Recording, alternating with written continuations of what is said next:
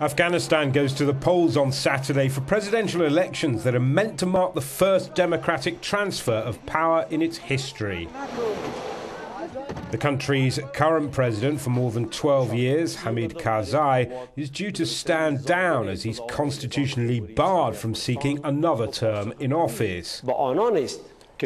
There are a total of eight candidates for Afghanistan's top job, with a tight race predicted between the three frontrunners, which include Zalmai Rassoul, Afghanistan's former foreign minister. Ashraf Ghani Ahmadzai is a former finance minister and World Bank official. He previously contested the 2000 elections but came fourth.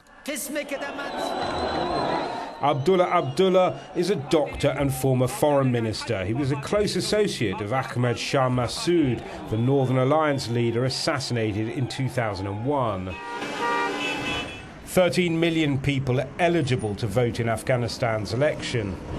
Security's been tightened in the cities as the Islamic rebel group the Taliban has vowed to derail the elections.